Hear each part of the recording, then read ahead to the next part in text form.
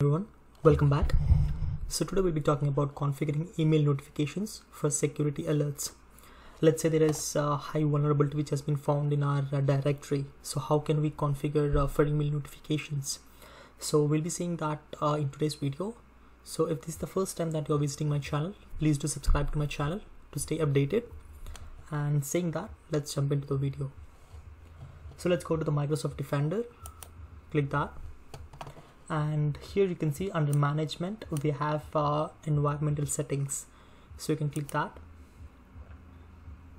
and select the appropriate subscription that you have. So in this case we have Azure subscription 1 and we have talked about different plans and auto provisioning. However now we'll be talking about email notifications. So let's go ahead and click that. So here you can see we have email recipients where uh, select who will get the email notifications from Defender for Cloud for Azure subscription 1 all the users with the following roles. So if there is any high vulnerability only I'll be getting the you know the notifications. However you can see we have different roles. So click the drop down and you can see we have account admin service admin as well as contributor. So let's say you have created a user and you can if the user has a role called service admin so even he'll be getting the notification when there is a high uh, severity that has been found.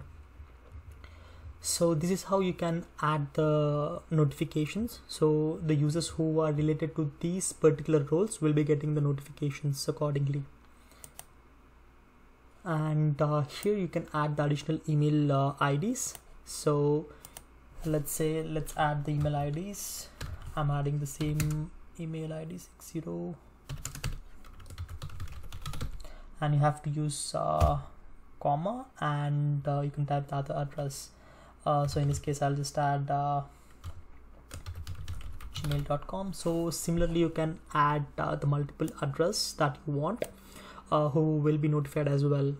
So this is how you can add additional email address by using comma. So let's delete this and the coming to the notification types. You can see uh, use the settings below to select the type of uh, email notifications to be sent by defender uh, for cloud. So notify about alerts with the following severity or higher. So right now we have uh, set to the high which is the final one. However let's click the drop down and you can see we have medium as well as low so if that is medium i'll be notified. If that is low i'll be notified. So based on the selection that you have done you will be receiving the notifications. However there is a limits for this uh, volume of outgoing emails. So if we talk about high severity alerts approximately four emails per day. If we talk about medium severity that is two emails per day. Whereas if we talk about the low which is the final one it's one email per day so this is how you can configure uh, your email notifications for these severities. So this is short and sweet video. I hope you guys have understood the concept of today's video. And uh, if you've liked the video please click the like button below. And if you're not subscribed to my channel please do subscribe to my channel. And i'll be keeping the relevant videos in the description for you to watch. I hope this helps. And uh, thanks everyone